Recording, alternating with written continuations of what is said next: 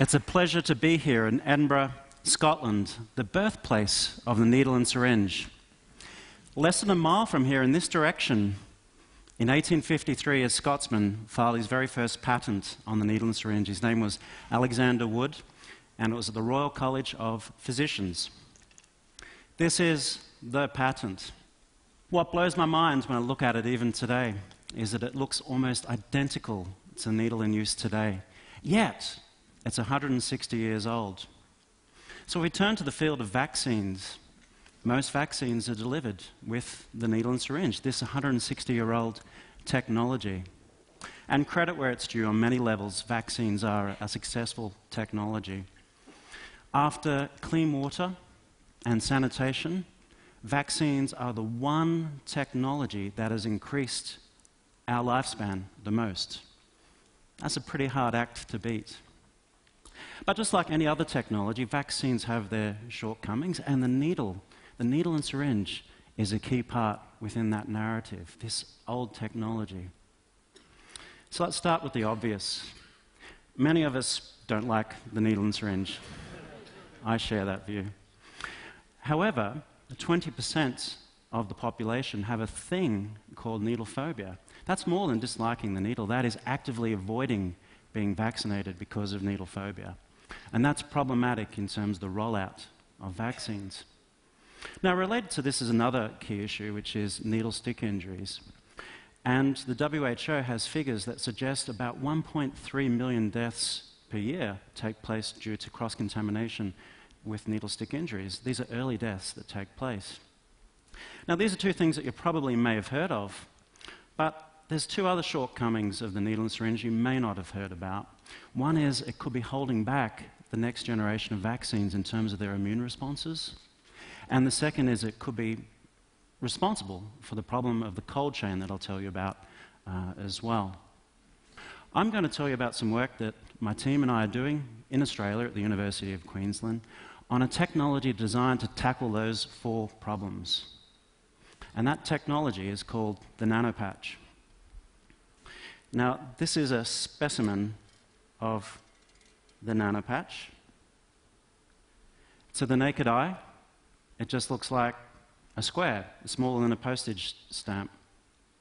But under a microscope, uh, what you see is thousands of tiny projections that are invisible uh, to the human eye. And there's about 4,000 projections on this particular square compared to, to the needle. And I've designed those projections uh, to serve a key role, which is to work with the skin's immune system. And um, so that's a very important function uh, tied in with the nanopatch. Now, we make the nanopatch with a technique called deep reactive ion etching.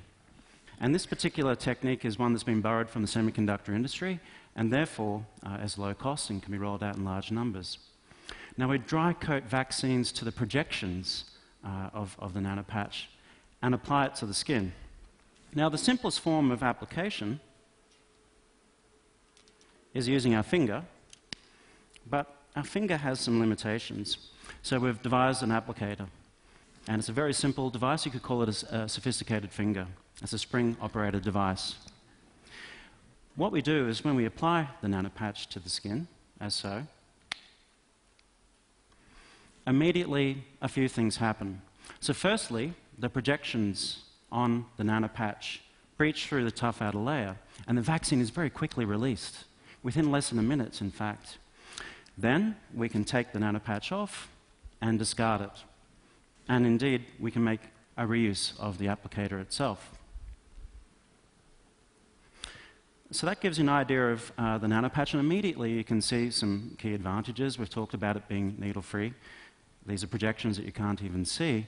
And of course, we get around uh, the needle phobia uh, issue as well. Now, if we take a, step back and think about these other two really important advantages, one is improved immune responses through delivery, and the second is getting rid of uh, the cold chain. So let's start with the first one, this immunogenicity idea. It takes a little while to get our, our head around, but I'll try to ex explain it in, in simple, simple terms. So I'll take a step back and explain to you how vaccines work in a simple way. So vaccines work by introducing to our body a thing called an antigen, which is a, a safe form of a germ. Okay? Now, that safe germ, that antigen, tricks our body into mounting an immune response, learning and remembering how to deal with intruders. When the real intruder comes along, the body quickly mounts an immune response to deal with that vaccine and neutralizes the infection. So it does that well. Now, the way it's done today with the needle and syringe is most vaccines are delivered that way with this old technology in the needle. But it could be argued that the needle is holding back our immune responses. It's missing our immune sweet spot in the skin. To describe this idea, we need to take a journey through the skin, starting with one of those projections, okay, and applying the nanopatch to the skin, and we see this kind of data. Now, this is real data. That thing that we can see there is one projection from the nanopatch that's been applied to the skin, and those colors are different layers. Now, to give you an idea of scale, if the needle was shown here, it would be too big. It would be 10 times bigger than the size of that screen, going 10 times deeper as well. It's off the grid entirely. You can see immediately that we have those projections in the skin. That red layer is a tough outer layer of dead skin, but the brown layer and the magenta layer are jammed full of, of immune cells. As one example, in the brown layer, there's a certain type of cell called a Langerhans cell. Every square millimeter of our body is jammed full of those Langerhans cells, those immune cells. And there's others shown as well that we haven't stained in this image. But you can immediately see that the nanopatch achieves that penetration. Indeed, we target thousands upon thousands of these particular cells just re residing within a hair's width of the surface of the skin. Now, as the, the guy that's invented this thing and designed it to do that, I found that exciting. But so what? Uh, so what if you've targeted cells? In the world of vaccines, what does that mean? Now, the world of vaccines is getting better, it's getting more systematic. However, you still don't really know if a vaccine is going to work until you roll your sleeves up and vaccinate and wait. It's a gambler's game even today. So, we had to do that gamble. We obtained an influenza vaccine, we applied it to our nanopatches, and we applied the nanopatches to the skin, and we waited. And this is in the live animal. And we waited a month, and this is what we found out. This is a data slide showing the immune responses that we've generated with the nanopatch compared to uh, the needle and syringe into muscle. So on the horizontal axis, we have the dose shown in nanograms. On the vertical axis, we have the immune response generated, and that dashed line that, that dashed line indicates the protection threshold. If we're above that line, it's considered protective. If we're below that line, it's not. So the red line is mostly below that curve, and indeed there's only one point that's achieved with the needle, that's protective, and that's with a high dose of 6,000 nanograms. But notice immediately the distinctly different curve that we achieve with the blue line. That's what's achieved with the nanopatch. The delivered dose of the nanopatch is a completely different immunogenicity curve. That's a real fresh opportunity. Suddenly, we have a brand new lever in the world of vaccines. We can push it one way, where we could take a vaccine that works but it's too expensive and get protection with a hundredth of the dose compared to the needle. They could take a vaccine that's suddenly $10 down to 10 cents, and that's particularly important within the developing world. But there's another angle to this as well. You could take vaccines that currently don't work and get them over that line and get them protective. And certainly in the world of vaccines, that can be important. Let's consider the big three HIV, malaria, tuberculosis. They're responsible for about 7 million deaths per year, and there's no adequate vaccination method for any of those. So, potentially, with this new lever that we have with the nanopatch, we can help make that happen. We can push that lever to help get those candidate vaccines over the line.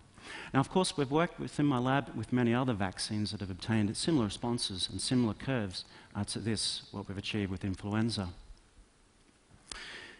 I'd like to now switch to talk about another key shortcoming of today's vaccines, and that is the need to maintain the cold chain. As the name suggests, the cold chain, it's the requirement of keeping a vaccine right from production all the way through to when the vaccine is applied to keep it refrigerated. Now, that presents some logistical challenges, uh, but we have ways to do it. Now, this is a slightly extreme case in point, but it helps illustrate the logistical challenges, particularly in resource poor settings, of what's required to get vaccines refrigerated and maintain the cold chain. If the vaccine is too, too warm, the vaccine breaks down, but interestingly, it can be too cold, and the vaccine could break down as well. Now, the stakes are very high. The WHO estimates that within Africa, up to half the vaccines used there are considered to not be working properly because at some point the cold chain has fallen over. So it's a big problem. And it's tied in with the needle and syringe because it's a liquid form vaccine, and when it's liquid, it needs a refrigeration. A key attribute of, of our nanopatch is that the vaccine is dry. And when it's dry, it doesn't need refrigeration. And within my lab, we've shown that we can keep the vaccine stored at 23 degrees Celsius for more than a year without any loss in activity at all. That's an important improvement.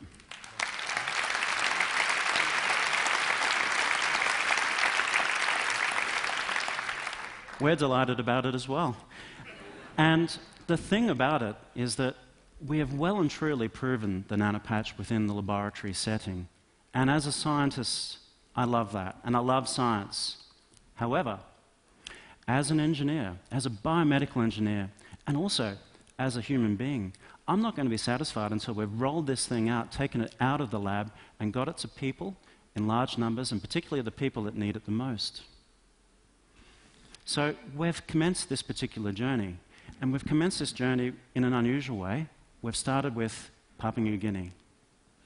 Now, Papua New Guinea is an example of a developing world country, and it's about the same size as France, but it suffers from many of the key barriers existing with, within the world of today's vaccines. There's logistics. Within this country, there's only 800 refrigerators to keep vaccines chilled. Many of them are old, like this one in Port Moresby. Many of them are breaking down, and many are not in the highlands where, where they're required. That's a challenge. But also, Papua New Guinea has the world's highest incidence of HPV, human papillomavirus, the cervical cancer vaccine. Yet, that vaccine is not available in large numbers because it's too expensive. So, for those two reasons, with the attributes of the nanopatch, we've got into the field and worked with the nanopatch and taken it to Papua New Guinea, and we'll be following that up shortly. Now, doing this kind of work is not easy. It's challenging, but there's nothing else in the world I'd, rather be doing.